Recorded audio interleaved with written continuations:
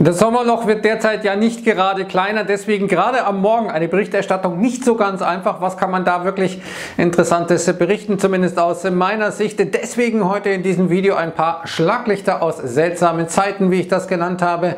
Und äh, wir gehen mal rein in die Materie, schauen uns zunächst mal eine Seltsamkeit von heute Nacht an. Aktuell, also zumindest eine News.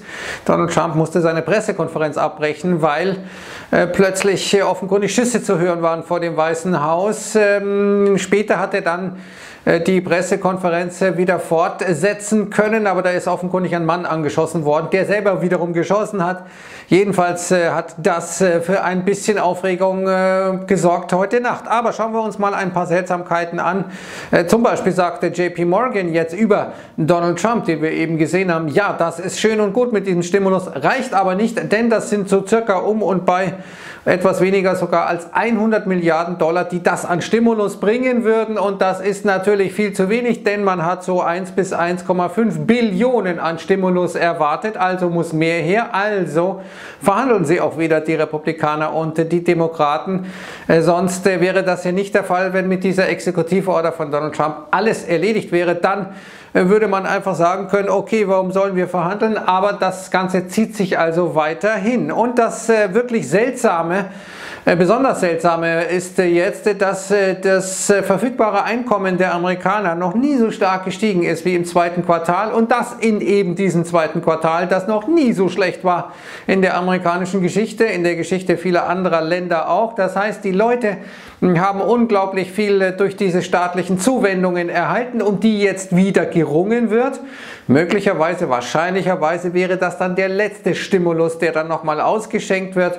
Dementsprechend äh, vielleicht dann irgendwann so eine By the Rumor Sell the Fact Geschichte, dass man also, wenn es dann äh, dieses Paket gibt, vielleicht dann man sich einigt auf 1 bis 1,5 Billionen Dollar dann Gewinnmitnahmen äh, passieren, wer weiß es schon. Jedenfalls zeigt das so ein bisschen die verrückte Situation. Die Amerikaner haben mehr Geld zur Verfügung als je zuvor und äh, das in den äh, größten Wirtschaftseinbruch seit dem Zweiten Weltkrieg. Das zeigt sich auch in äh, den Trading-Statistiken. Hier die Robin Hooder haben jetzt die Führung übernommen im Juni.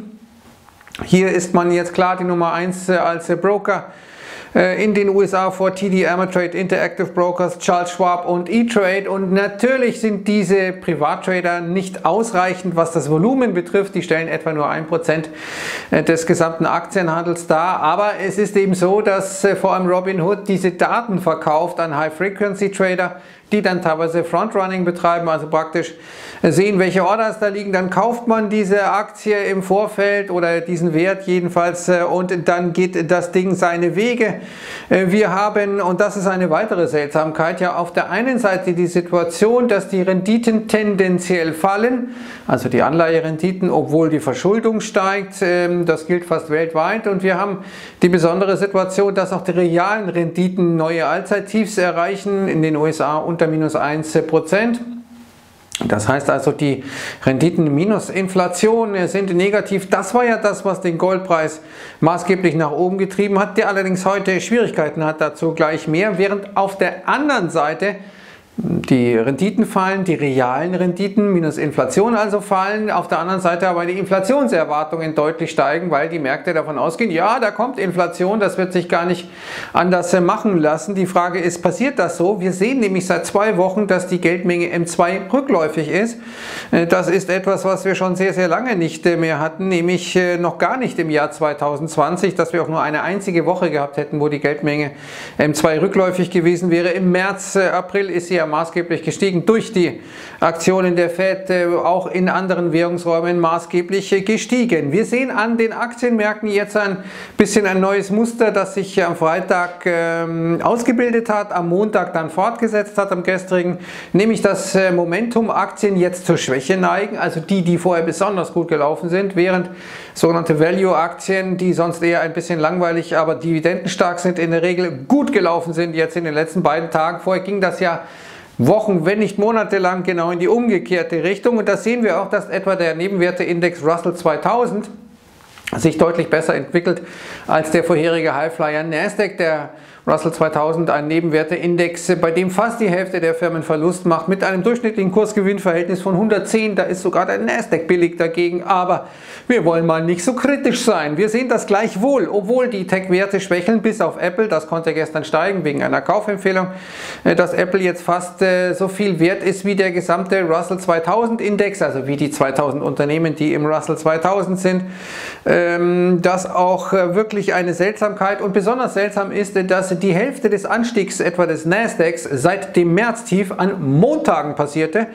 Ähm, allerdings ging es da gestern nach unten 0,5 Prozent. Die anderen Tage, wo der Nasdaq super stark ist, sind Dienstag, Mittwoch, Donnerstag und Freitag. Schauen wir uns noch mal ein paar äh, Charts, äh, ein paar Grafiken an, die äh, vielleicht relevant sind. Wir sehen in den USA das erste Mal äh, die wirklich rückläufige Tendenz in Sachen Covid-19. Wir sehen sowohl bei den neuen Fällen eine rückläufige Tendenz, als auch bei den Hospitalisierungen, als auch jetzt äh, in neuester äh, Zeit oder jetzt in den letzten Tagen bei den ähm, Toten. Also hier scheint man so ein bisschen diese große Welle jetzt erstmal hinter sich gelassen zu haben. In Deutschland wieder über tausende Fälle.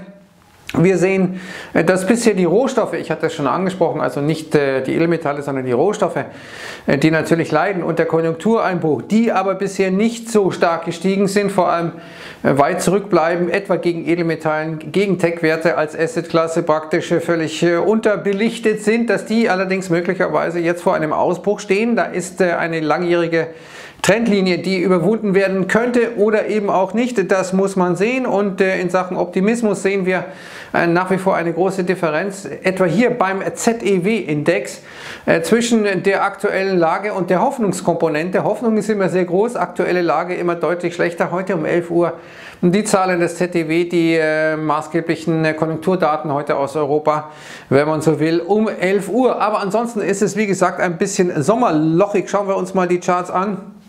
Was wir hier sehen, ist der DAX im 4-Stunden-Chart in den Charts von Capital.com, meine Damen und Herren, 12.779. Wir waren vorher, vorhin noch zur Eröffnung über der 12.800er Marke. Die asiatischen Märkte positiv, der Nikkei nachdem er sich am Montag eine Pause gegönnt hatte, doch durchaus stark gewesen. Aber der DAX hat jetzt so ein bisschen die Anfangsgewinne abgegeben. Wenn wir uns mal den S&P 500 anschauen, der aktuell bei 3.368 Punkten handelt, dann sehen wir, dass wir doch äh, da sehr, sehr nahe jetzt äh, am Allzeithoch sind. Das könnte heute schon erreicht werden. Ich glaube 3386 war das ähm, war der Rekord, war der Schlusskurs Höchststand, den wir bisher gesehen hatten. Wir sehen hier den Nasdaq 11117. Gestern wieder so ein bisschen die Verluste teilweise aufgeholt, aber eben schwächer als äh, etwa der Dow Jones, den wir hier sehen, auch auf Stundenbasis. Da geht es konstant nach oben. Das ist im Nasdaq nicht so zu erkennen gewesen. Schauen wir uns mal Euro-Dollar an. Da setzt sich die Dollarstärke fort, ein 17,35 und das sehen wir besonders bei Gold.